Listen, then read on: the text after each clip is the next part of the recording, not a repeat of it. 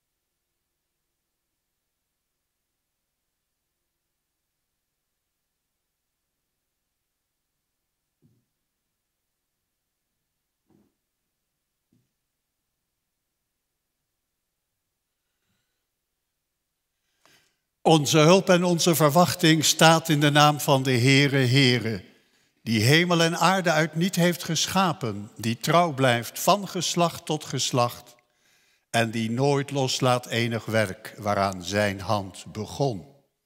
Amen. Geliefde gemeente, genade zij u en vrede van hem die is en die was en die komen zal. En van de zeven geesten die voor zijn troon zijn.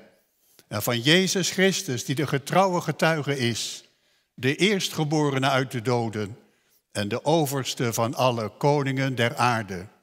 Amen. Wij zingen die mooie verzen uit Psalm 84, hoe lieflijk, hoeveel heilgenot. O Heere der legers, scharen, God zijn mij uw huis en tempel zangen. Welzalig hij die bij u woont, gestaag u prijst en eerbied toont. Psalm 84, de versen 1 en 2.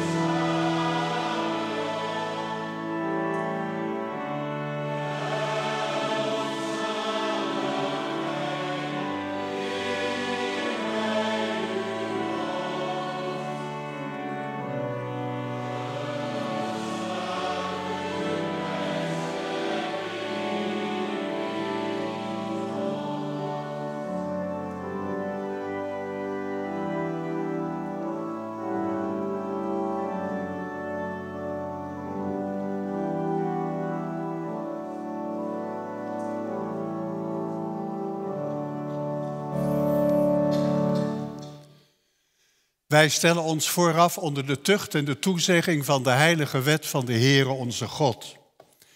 En zingen aansluitend Psalm 51, vers 5. Herschep mijn hart en reinig gij, o Heere, die vuile bron van al mijn wanbedrijven.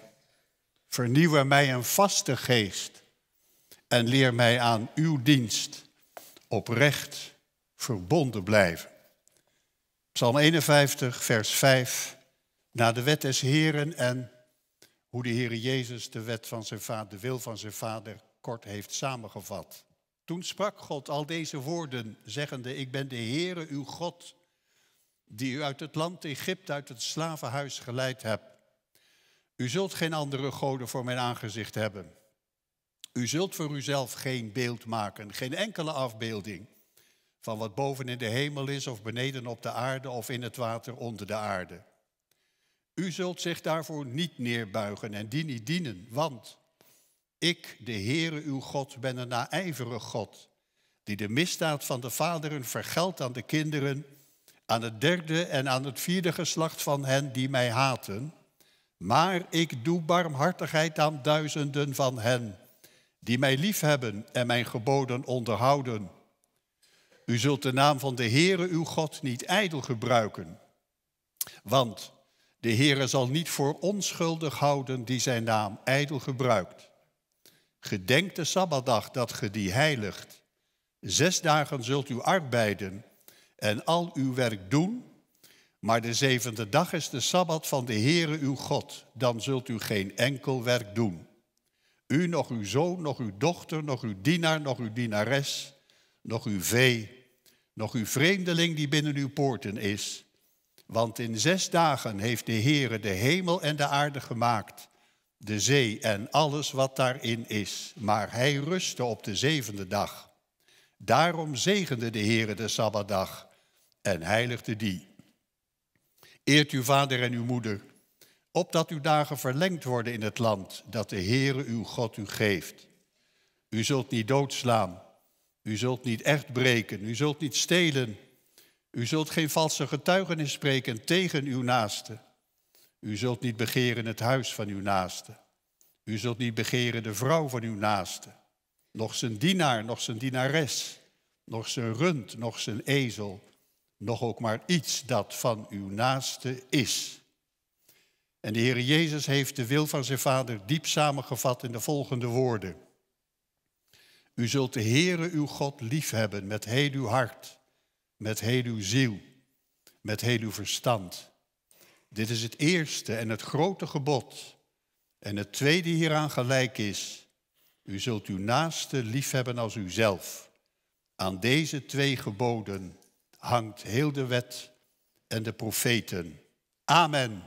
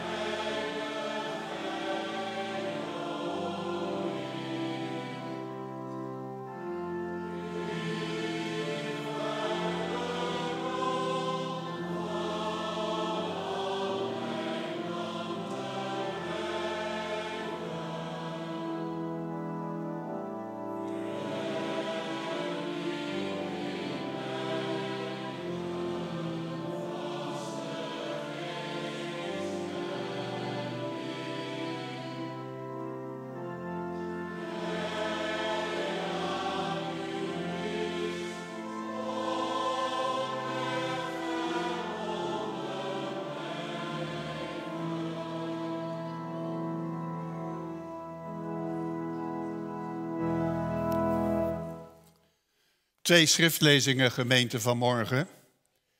Eerst uit Filemon. De versen 1 tot en met 13.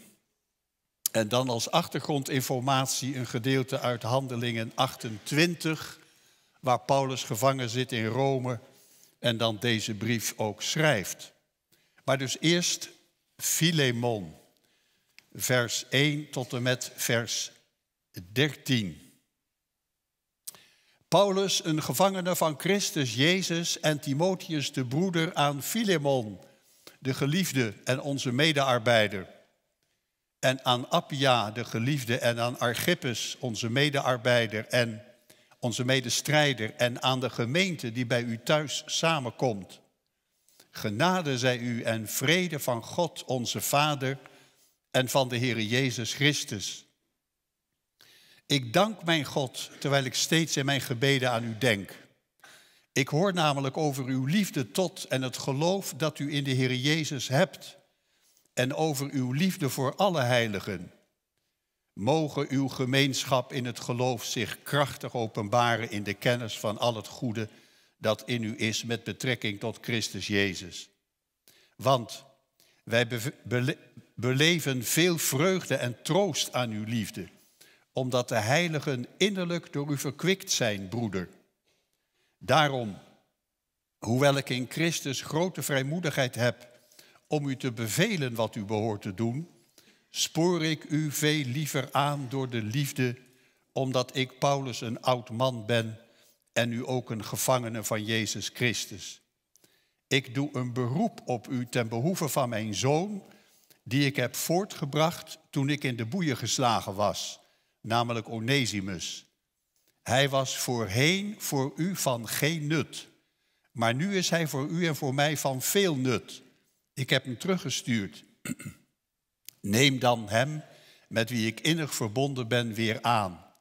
Ik had hem wel bij mij willen houden, opdat hij mij, die in de boeien zit ter wille van het evangelie, namens u zou dienen. En dan uit de handelingen van de Heilige Geest, hoofdstuk 28.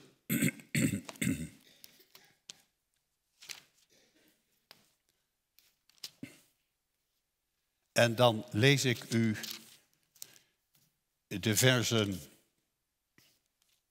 16 tot 20.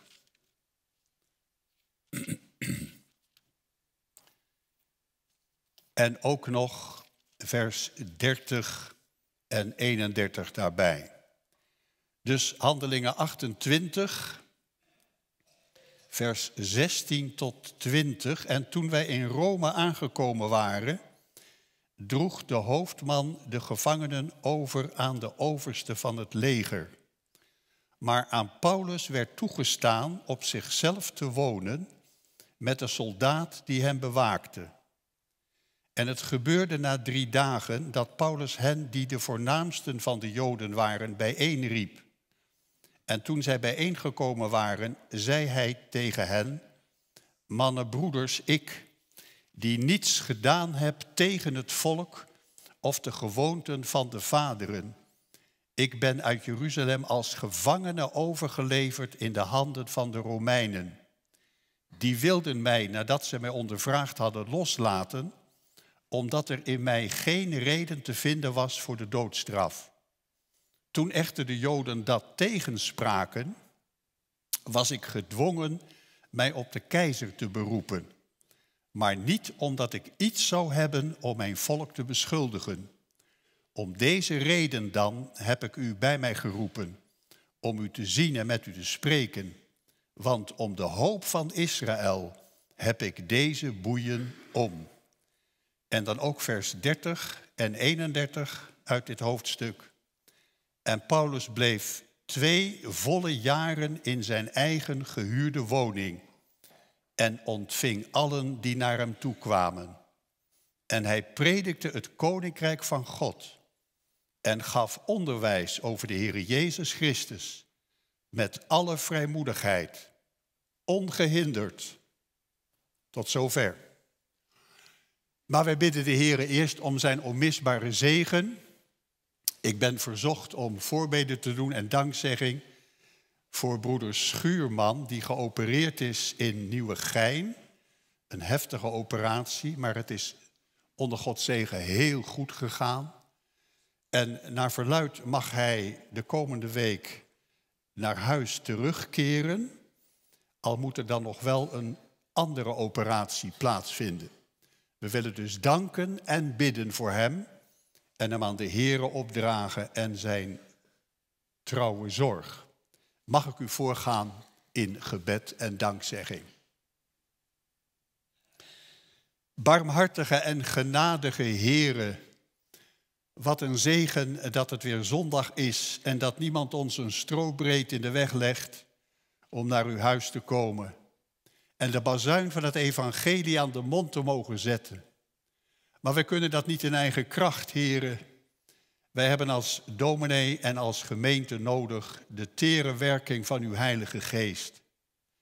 En wat een zegen dan dat u de barmhartige en genadige bent. En dat wij gelovig mogen pleiten op de eigenschappen van u, heren.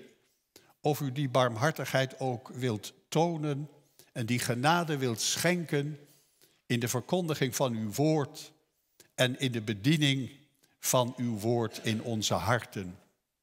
Wat een zegen dat we dat mogen vragen en dat u dat ook wilt geven. Daar pleiten we op, heren. En dan zien we af van onszelf. En dan zien we op tot God in Christus. Op zijn volbrachte werk mogen we ons vertrouwen stellen.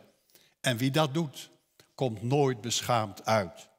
Heren, wilt u zo langs de rijen gaan, uw volk en kinderen gedenken en voedsel geven door de Heilige Geest in de geloofsbeoefening, zodat er een groeien mag zijn in de genade en in de kennis van de Heere Jezus Christus. En als wij nog geen persoonlijke band aan u hebben, heren, wilt u ons dan bekeren? Wilt u er ons aan ontdekken dat we nog onbekeerd zijn? En dat we ons tot u zouden wenden met het verzoek, met het gebed om een nieuw hart. En wie dat aan u vraagt, die hoeft niet te wanhopen, want u houdt getrouw uw woord. We willen nu bidden voor Israël en voor de Palestijnen in de verschrikkelijke toestand daar. O God, zegen uw volk en zegen ook verdreven Palestijnen. En, en wilt u toch moorddadige mensen tot bezinning brengen en op de knieën. Dat mensen zo elkaar maar doodmaken. O God, wat een wereld, wat een verschrikkelijkheid, wat een verdriet, wat een trauma's. Ontfermt u zich, heren. En wilt u ook leidinggevende wijsheid en inzicht geven om elkaar niet kapot te maken, maar om samen op de knieën te komen en op de om de Allerhoogste God te smeken om vrede. Vrede niet alleen maar in afwezigheid van wapens en moordtuig, maar vrede kon het zijn door het bloed des kruises. Wat zou dat een zegen zijn, heren, als Israël dat mocht leren geloven. Dat het al volbracht is en dat ze dat ook mogen leren bevindelijk in het geloofsleven. Er staat toch ook nog in het woord, al zo zal gans Israël zalig worden. Here, wilt u wijsheid geven en wilt u genade geven en de werking van uw Heilige Geest. We bidden voor Messias beleidende Joden en, en Christen-Arabieren. Die hebben het niet gemakkelijk in de omstandigheden waarin zij zijn. Here, wil ze nabij zijn en dat zij in de oefening van het geloof mochten wijzen op de levende Christus die overwinnaar is in de troon en die ook de overwinning wil geven in de weg van wedergeboorte en geloof. Heere, ontfermt u zich over dit strijdgebied. En we bidden ook voor hulpverleners. Zegen ze, heren. En wij bidden ook voor andere noodgebieden in de wereld. Wat is er wat aan de hand? O heren, wat hebben we er wat van gemaakt buiten het verloren paradijs? Ontfermt u zich nog en allen die hulp willen verlenen, sparen, draag ze en geef ze moed en kracht om hun werk te kunnen doen als een teken van het Koninkrijk der Hemelen. Wij willen ook bidden voor broeder Schuurman, heren, die zo'n heftige operatie moest ondergaan. En wat een zegen dat dat goed gegaan is. We danken u voor de medische staf die hem daarin heeft begeleid, maar vooral ook voor uw ontfermende genade. Zegen hem en zijn vrouw, ook als zij waarschijnlijk deze week weer naar huis mag. Wat een zegen dat dat kan. Maar er komt ook nog een andere ingreep. Heren, wil ook dan genade schenken om het te kunnen doormaken, te kunnen meemaken in afhankelijkheid van uw zegen. Daar leeft onze broeder bij, samen met zijn vrouw. Wil ze versterken in dat geloof en dankbaar een hart geven voor al uw weldaden die u tot nu toe al bewezen hebt. Wat zijn we toch afhankelijke mensen, ook in de gezondheid en in de genade, heren. We bidden ook voor anderen die we niet bij name noemen. Het zij dat we het moeilijk hebben. Het zij dat we juist reden hebben tot dankbaarheid. Dat we met heel ons bestaan op het hoogste adres terecht mogen komen. En u de eer geven waarop u recht hebt. En ook mogen ondervinden dat als wij onze bekommernis in uw hand geven en ze daar laten als we amen zeggen op het gebed, dat u ook zult laten merken dat u van ons afweet en wilt voorzien in de situatie van ons leven naar uw programma. Heren, zegen ons zoals we hier samen zijn of zoals we thuis op deze eredienst hebben afgestemd. We bidden voor de koster, voor de organist, voor de mensen van de techniek en voor uw knecht. Zegen ze allen in hun eigen opdracht en roeping. En ga ook de rijen langs, heren, ook bij de jeugd en bij de kinderen. Fijn dat ze er zijn. En wil geven dat we iets verstaan van de bediening van uw woord. Niet alleen met ons hoofd, maar ook met ons hart. Geef het ook aan de jeugd en de kinderen. Ze zullen misschien niet elk woord van de preek begrijpen, maar dat ze toch een indruk krijgen en hebben en houden van wie u bent en van wat u doet. Wilt u zo de rijen langs gaan, heren, en zelf ons geven dat we als aan de voeten van u mogen zitten, om af te zien van onszelf en op te zien tot God in Christus. Leid ons zo door uw Heilige Geest. We bidden het in de vergeving van onze zonden en dankbaar voor uw zegeningen, alleen om Jezus wil uit genade. Amen. Uw gaven worden ingezameld. Oh nee, dat is aan het eind van de dienst, hè? Ja, ja, neem me niet kwalijk. Uh, dan willen we wel zingen ter inleiding op de prediking uit Psalm 101. Psalm 101, vers 1, 2, 3 en vers 6. Ik slaap die getrouw in het land zijn de ogen. Ik zal in eer hen aan mijn zij verhogen en doen hem die in het spoor der, der deugd zal treden, mijn dienst bekleden. Psalm 101, de versen 1, 2, 3 en 6 ter inleiding op de prediking.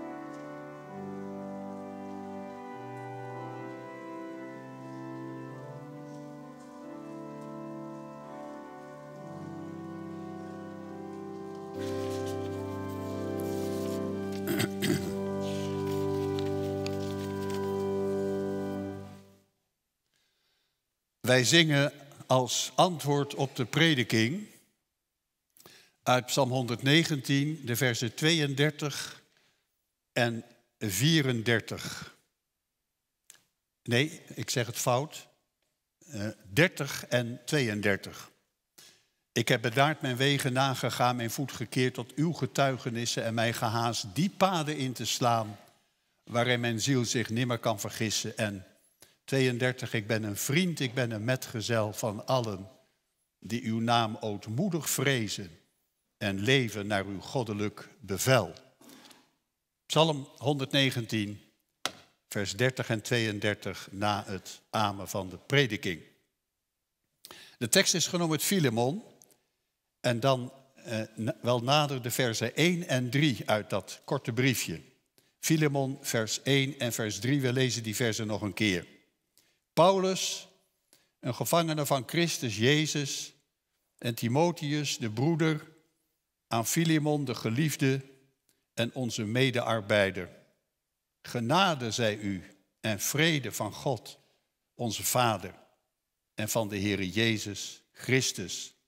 Geliefde gemeente, ouderen, jongeren, kinderen. We hebben een brief van Paulus opgeslagen. Hij heeft heel wat geschreven in het Nieuwe Testament, liefst dertien brieven. En daarin staan heel moeilijke gedeeltes. Petrus vond dat zelf. Denk bijvoorbeeld aan de Romeinenbrief. Dat is echt een doorwrochte brief.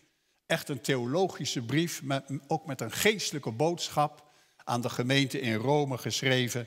En wij hebben die brief ook ontvangen. Paulus laat zich nooit zo echt in zijn hart kijken als het om persoonlijke omstandigheden gaat. Maar dat is eigenlijk in dit laatste briefje van Paulus, het dertiende briefje, het kortste briefje ook, wel het geval.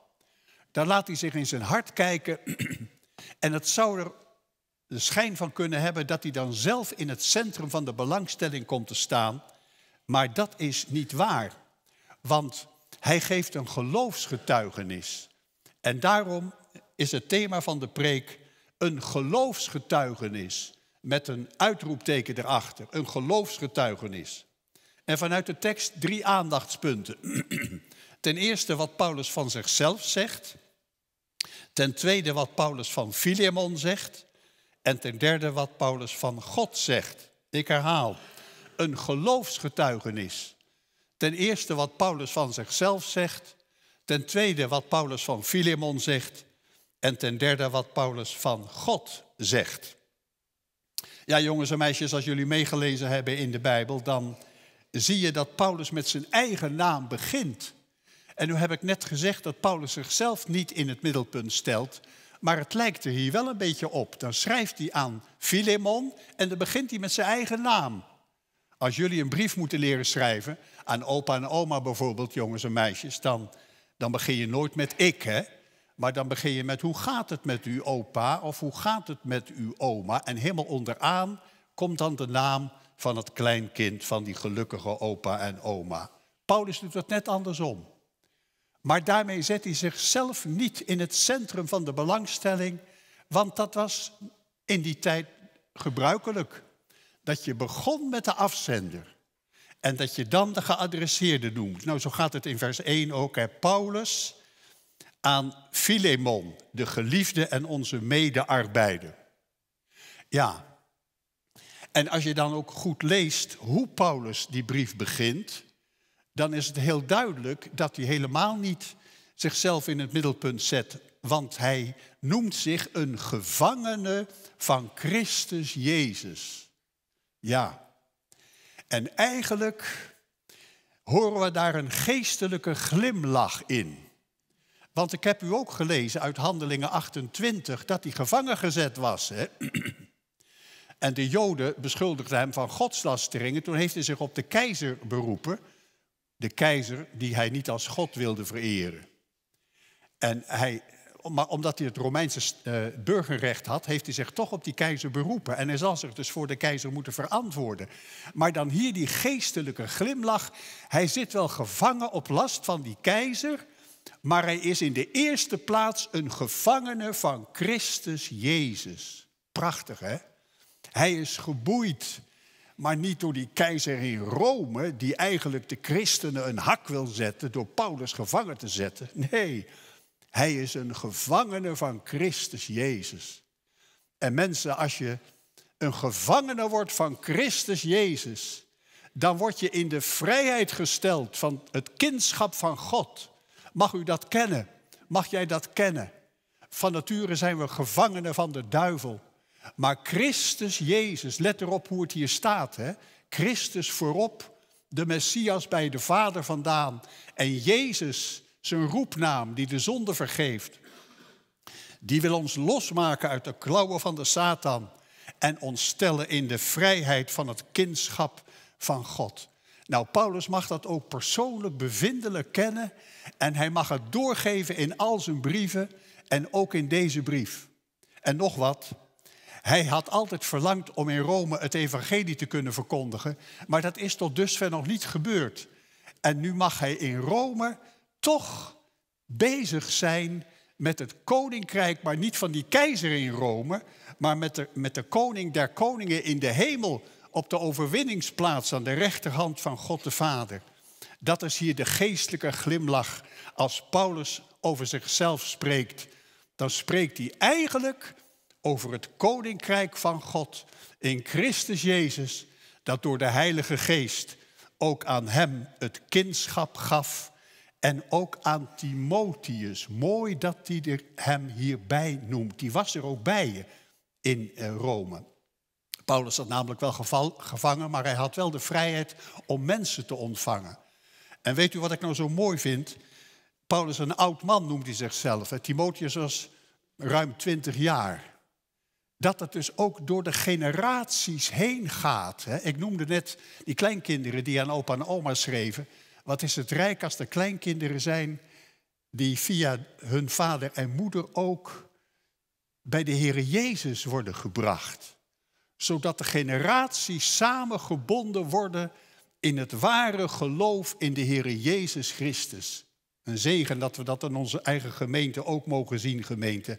En Paulus die niet getrouwd is geweest, hoewel daar soms ook, uh, er is in de, in de oudheid ook een, uh, ook een, uh, een geschiedschrijver die zegt dat Paulus wel getrouwd geweest is, maar dat terzijde. Aan Paulus die een alleengaande is, dat hij nou in de gemeenschap der heiligen Timotheus als een geestelijke zoon mag kennen. Heerlijk als we dat mogen zien. We kunnen bloedbanden hebben hè, aan onze kinderen en kleinkinderen. Maar je kunt ook een bloedband hebben, geestelijk gesproken, aan medegelovigen, ouderen en jongeren. En wat kan dat ook een zegen zijn als we mogen staan in de gemeenschap der heiligen geliefden. Ook als u alleengaande bent of alleen geworden, misschien tegen wil en dank alleen uw weg moet gaan. Wat is dan een zegen dat je een geestelijke familie mag hebben. En dat die bloedbanden van de Heer Jezus Christus, als ze door de Heilige Geest aan je hart zijn toegepast, zo diep gaan dat je een geestelijke familie bent waarin je mag staan en gaan en waar, waarvoor je de Heer mag danken. Zalig als we dat mogen kennen, mensen.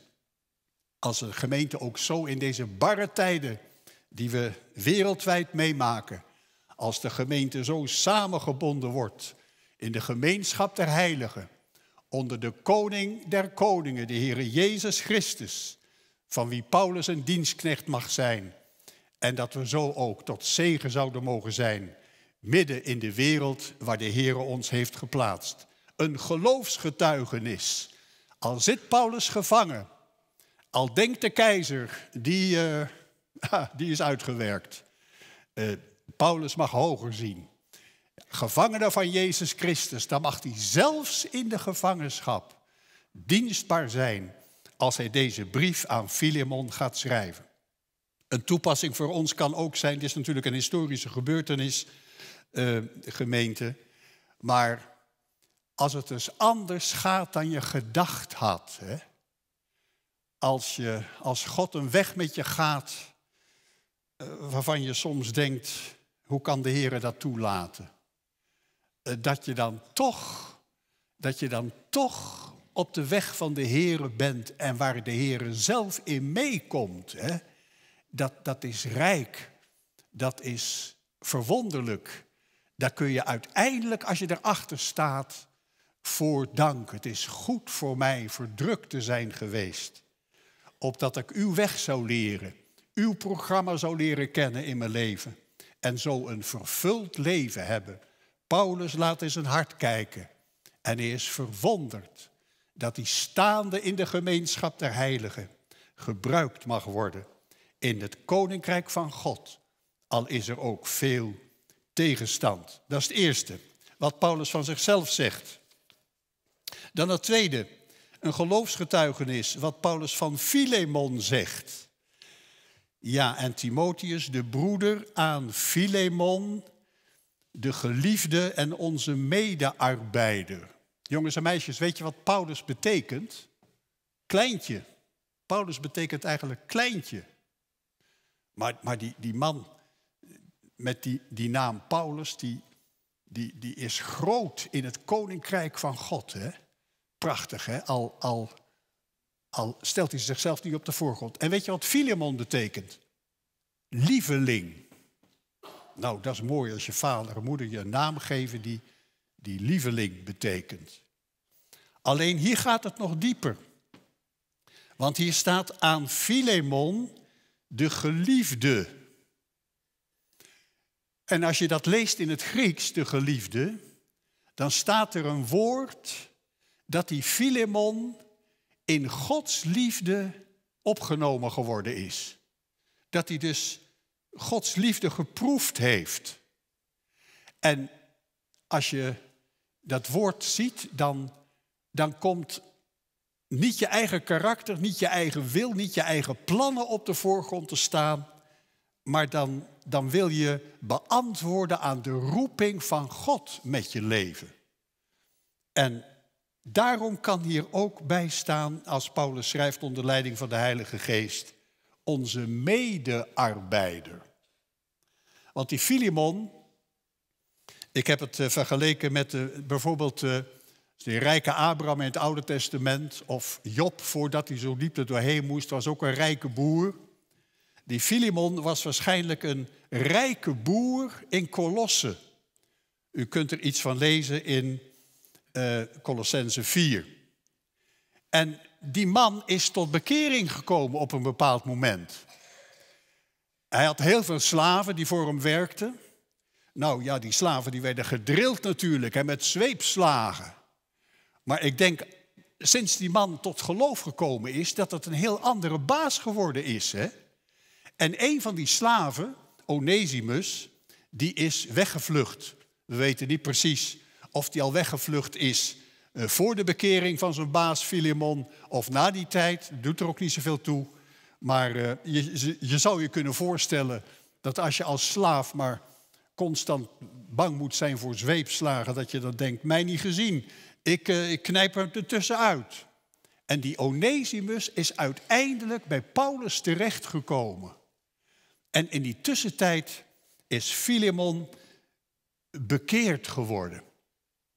Ja, en, en nu eh, het contact met Onesimus en Paulus is ook zo zegenrijk geweest dat ook die Onesimus, die weggelopen slaaf, tot bekering gekomen is. Wat daar precies tussen Paulus als gezant van de hemel en die weggelopen slaaf Onesimus besproken is, dat blijft het geheim tussen hun beider leven. Maar Paulus is er natuurlijk ook achter gekomen dat, uh, dat die slaaf weggelopen is. En nu gaat hij aan zijn baas, want Onesimus moet terug naar Filemon. Nu gaat hij aan zijn baas dit briefje schrijven waaruit onze tekst vanmorgen genomen is. En dan staat er zo heel mooi aan Filemon, de geliefde, dus door God geliefd, en onze medearbeider. Prachtig, hè? Filemon is geen apostel geworden, was geen discipel van de Heer Jezus, maar als rijke boer, als uh, kind van God, ben je op de plek waar de Heer je een taak geeft medewerker in het koninkrijk van God. En het is Paulus zo'n wonder dat hij terwijl, ik zeg het opnieuw, die keizer in Rome denkt, hebbes, die laat ik nooit meer vrij. Die moet omkomen straks in de arena. Dat, dat Paulus verwonderlijk dankbaar is dat hij gebruikt wordt. Onesimus komt tot bekering en nu mag Paulus ingeschakeld worden om aan Filemon zijn slaaf terug te sturen. Ik ben van plan, gemeente, om uh, uit dit korte briefje vier preken te houden. Uh, dit is de eerste, dus misschien komt er nog een vervolg in de toekomst. Maar uh, Filemon mag een brief van Paulus, een aanbevelingsbrief van Paulus ontvangen, die de teruggestuurde slaaf meekrijgt, omdat hij wel onder Filemon zijn ogen weer moet verschijnen en ook zeggen dat hij fout geweest is. En hij heeft ook nog gestolen. En, eh, maar dat terzijde dan. Hij moet dus schuld bekennen. Maar als je tot geloof gekomen bent, ach gemeente, dan, dan word je eerlijk voor God. En dan word je ook eerlijk naar elkaar toe. En dan vind ik het hier zo heel mooi in deze brief, die zo midden in de werkelijkheid van het leven van elke dag staat. Dat Paulus zegt, ik had als apostel je kunnen bevelen, Filemon, kind van God, aanvaard Onesimus weer. Maar ik maak geen gebruik van mijn ontvangen gezag. Ik spreek je aan als broeder. Mooi hè? Want hij komt maar niet als slaaf terug, maar hij komt als broeder in de Here terug. Wat rijk hè? dat de Heer die moeilijke omstandigheden van Paulus, want daar doen we niks van af, toch wil gebruiken voor de voortgang van zijn werk. Zo komt heerlijk uit, hè? Dat de overwinnaar in de troon, op de ereplek aan de rechterhand van zijn vader, uiteindelijk niks uit zijn handen laat glippen, maar de leiding houdt. En het brengt tot een volkomen einde. En Filemon mag in de gebrokenheid van de situatie daar een bijdrage aan leveren door eh, Onesimus te ontvangen, niet meer als slaaf, maar als broeder in de Here. Ja, en daar heeft Paulus alle vertrouwen in, want hij zegt dus heel mooie dingen over die Filemon. Ik, ik kijk even naar vers 5. Ik hoor namelijk over uw liefde tot en het geloof dat u in de Heere Jezus hebt en over uw liefde voor alle heiligen. Ja, en, en vers 6. Mogen uw gemeenschap in het geloof zich krachtig openbaren in de kennis van al het goede dat in u is met betrekking tot Christus Jezus. Prachtig, hè? Zo gaat Onesimus terug. En ik denk dat hij achter de schrijftafel van Paulus geknield heeft gelegen. Toen Paulus met een ganzenveer deze aanbevelingsbrief op perkament schreef aan zijn oude baas Filemon. En de Heilige Geest heeft het zo geleid dat dat in onze Bijbel een plekje heeft gekregen. Ja, we kunnen medewerker, medearbeider, medestrijder worden in het koninkrijk van de Heer. Ja, ik zeg het opnieuw, gemeente, dit is natuurlijk een historisch unieke situatie. Maar mag u de boodschap verstaan?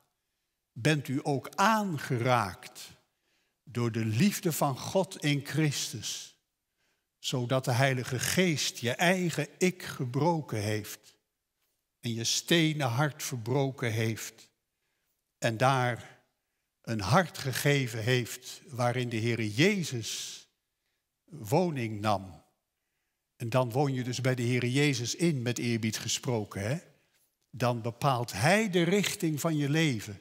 Dan word je een medewerker. Als moeder in je gezin, als je dat hebt. Of als alleengaande die zich ontfermt over ontheemden. Of als categeet met jonge mensen die opgroeien. Of in een huwelijksleven dat dienen mag in het midden van de gemeente. Of als medewerker in een groot bedrijf in de hectische omstandigheden van het leven van elke dag. Maar toch een medearbeider in het koninkrijk van God. Dan loop je de lijntjes er niet van af, de kantjes er niet van af. Maar daar ben je trouw in je roeping. Dat is de diepe achtergrond. Dat Paulus deze slaaf, deze weggelopen slaaf, terugstuurt met een aanbevelingsbrief naar zijn baas. En die baas is christen geworden. Wat zal als Onesimus weer aangekomen is in Kolossen een heel andere baas ontmoet hebben. Niet meer met de zweepslagen van en werken zul je. Maar als je een kind van de Heer mag zijn, dan, dan is er de leiding en de toewijding van de Heilige Geest. Prachtig, hè? Er staat in Psalm 110 zo mooi. De Heere heeft een zeer gewillig volk op de dag van zijn heerkracht. En dat is vervuld in de troonsbestijging van de Heere Jezus Christus. En die heeft de deur opengelaten sinds hemelvaart. En van daaruit mag de kracht van de Heilige Geest neerdalen op kosten van de Heiland, Christus Jezus. En ons hart en leven aanraken.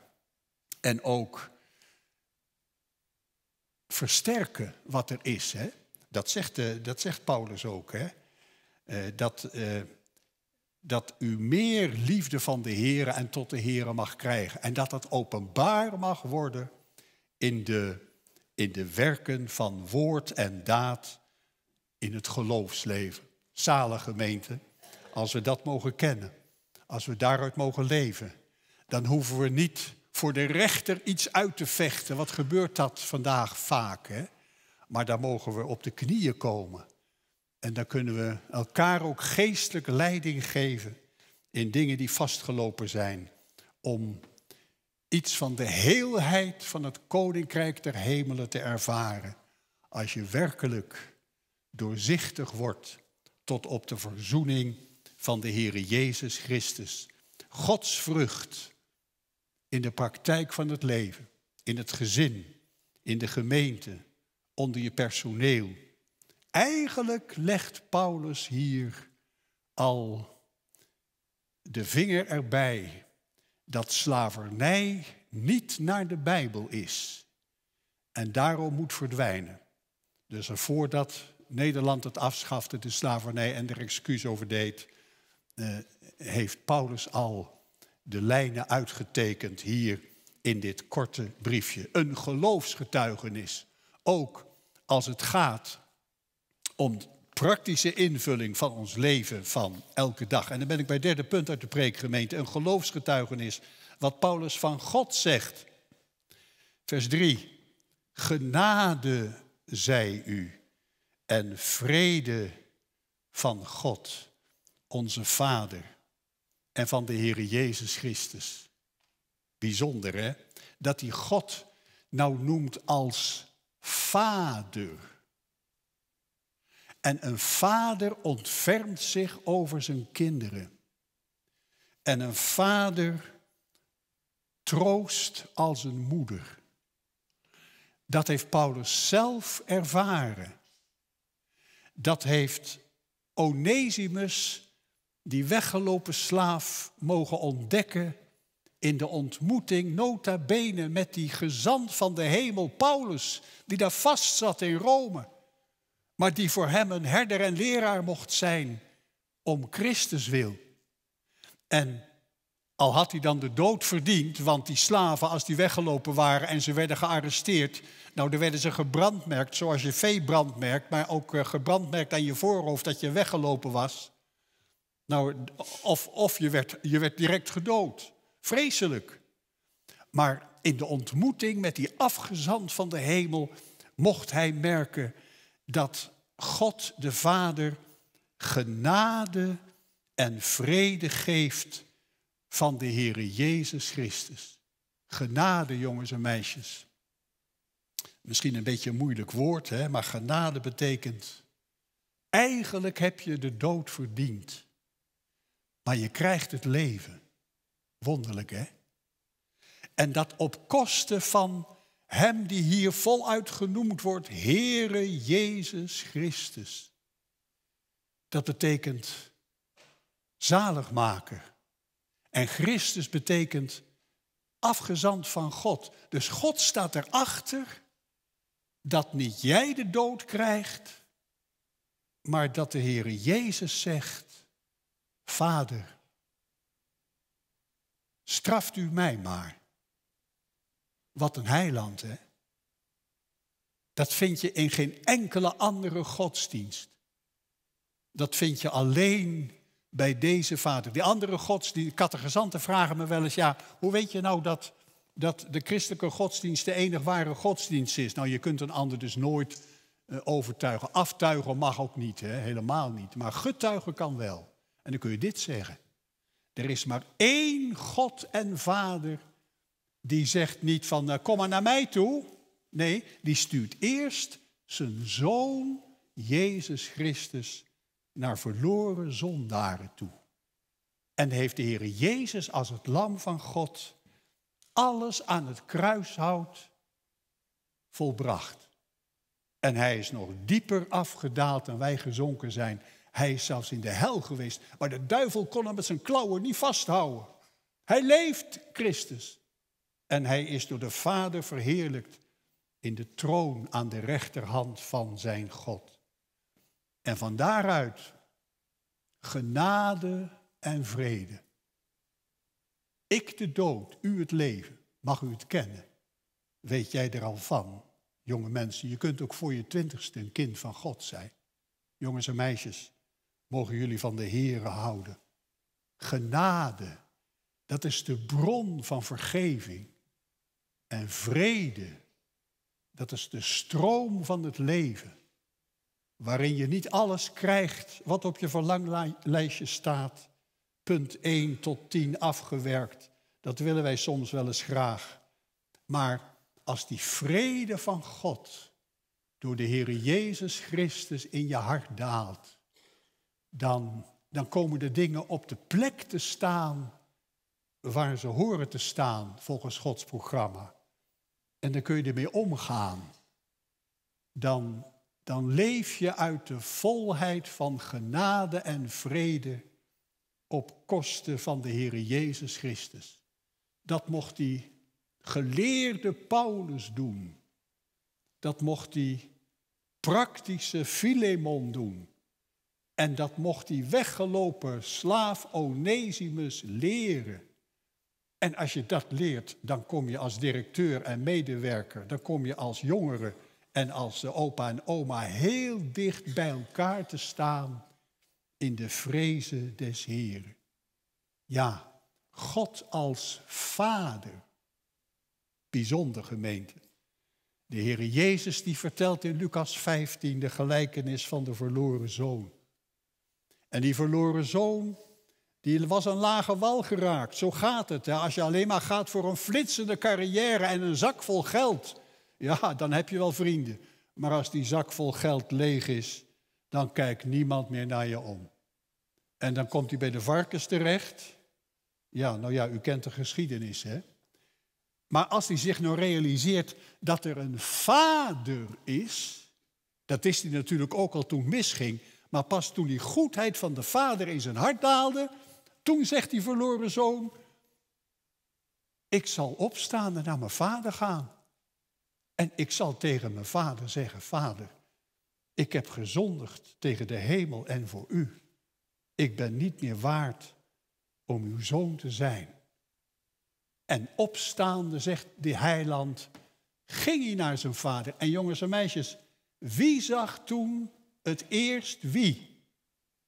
Zag die zoon, die verloren zoon, het eerst zijn vader? Of zag die vader het eerst die weggelopen zoon? Ja, die vader zag het eerst die weggelopen zoon. Want die vader had die jongen altijd gemist. Die had altijd op de uitkijk blijven staan. Jongen, kom toch terug. Nou, dat is nou onze vader. Om Jezus Christus wil.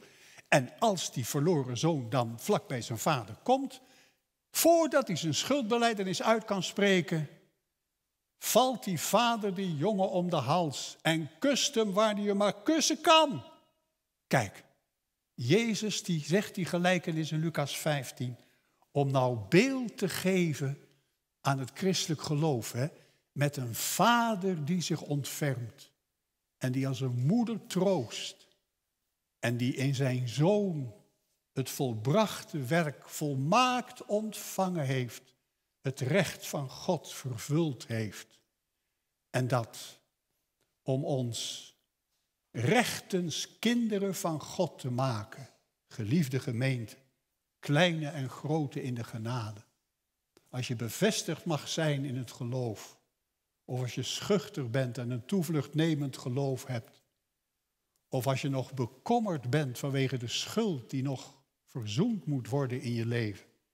Je mag vluchten naar deze Vader. En dan zie je dat in de tekst dan staat, Heere Jezus Christus. Net andersom, die naam, dan in vers 1 staat Christus Jezus. Dus je mag vluchten naar Jezus en die brengt als hoge priester je bij God de Vader. Je mag door de Heilige Geest de ontferming van de Heere leren kennen in het geloof, diep in je hart en uitlevend in alle uitingen van je leven, dan is Hij Heere in je leven. Dus die vader omhelst de zoon. Jezus vertelt het als beeld van wat God nu nog doet. Die vader omhelst die zoon. Ja, prachtig hè. En wat, knecht, niks ervan. Je bent mijn zoon. Je was verloren, je bent gevonden. Je was kwijt, maar je bent thuisgekomen. Dat is het geheim. Hè? En dan gaan, gaan ze feest vieren. Dan wordt het feest van binnenuit, mensen. Nou, dat is nou geestelijk nog zo. Hè? Als je genade en vrede van deze God, onze Vader mag kennen, onze, alle generaties, alle kinderen van God, wereldwijd, de kleine en de grote, allemaal persoonlijk welkom geheten, persoonlijk thuisgekomen, persoonlijk gekust, persoonlijk in ontferming ontvangen, persoonlijk geleid, persoonlijk gewijd. Wat een wonder, hè? Zoveel christenen wereldwijd. Maar dat die Heer nou zich over die ene ontfermt, zodat hij precies van je concrete situatie afweet en erin wil voorzien. Ook als het anders gaat dan jij hebt gedacht. Wat een liefde, wat een genade, wat een verlangen ook om volmaakt voor die Here te leven en die Here ook volmaakt te danken.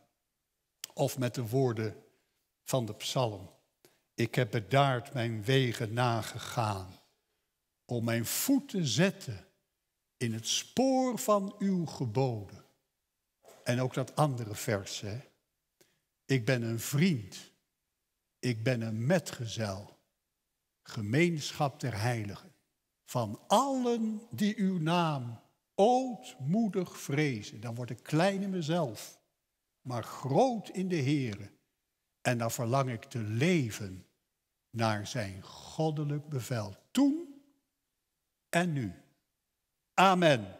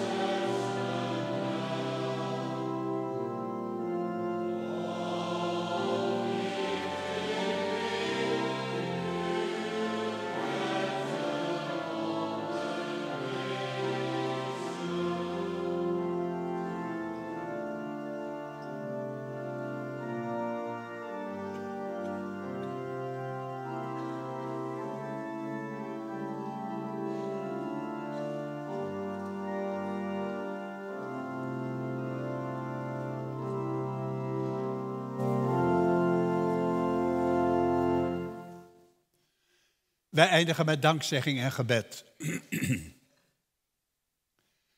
Ja, heren, laat dat uit ons hart gegrepen mogen zijn wat we zongen. O heren, hoe wordt uw goedheid ooit volprezen?